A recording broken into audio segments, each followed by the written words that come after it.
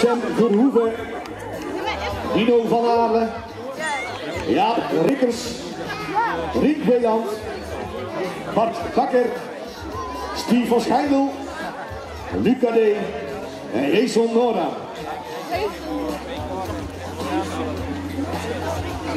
Wie had er winnen? Jason. Uh, Luke of Jason? Ja, oké, word ik op een keer nooit saai. Ja, nooit. Is het Noordam, is het KD, is het Bakker, is het Van Schijndel, dat zijn zo van alles kunnen zijn. Maar op dit moment is het Red Rocket hier, uh, Jason Noordam, die dan toch als eerste de kop uitkomt. In achtervolging gaat dan Bakker en KD. Die twee hebben het even met elkaar in de stok. Wat gaat er gebeuren? Hier gaat het op kracht aankomen. En nou weet ik dat uh, KD daar toch wel sterk in is.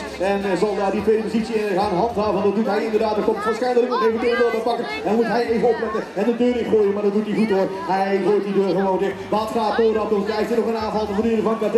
Dan lijkt het wel te gaan komen. Want is het loeren. Hij is het loeren waar hij een plekje kan vinden om hem erbij te gaan steken. Is het dan in deze boot of gaat het hem niet meer lukken? Ik ben bang dat de koek nu gesneden is en dat de overwinning van vandaag in de Boys 12 gaat naar Jason Noordam.